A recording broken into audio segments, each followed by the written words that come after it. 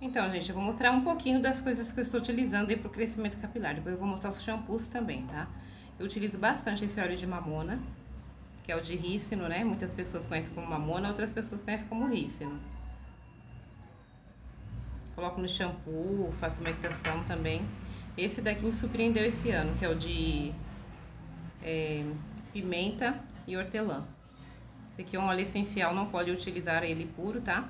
Às vezes eu utilizo ele juntinho aqui, ó. Coloco uma, algumas gotinhas no de e não utilizo.